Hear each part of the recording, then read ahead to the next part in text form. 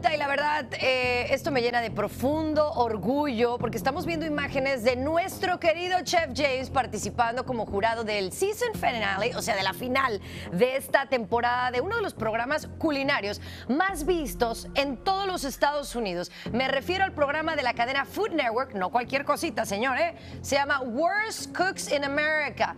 Oye, James, pero te estás codeando con los grandes. Ya al rato no me vas a querer ni hablar. no, la verdad es que eh, fue eh, un momento maravilloso, sobre todo eh, el trabajar con toda esa gente y todos esos profesionales en el Food Network.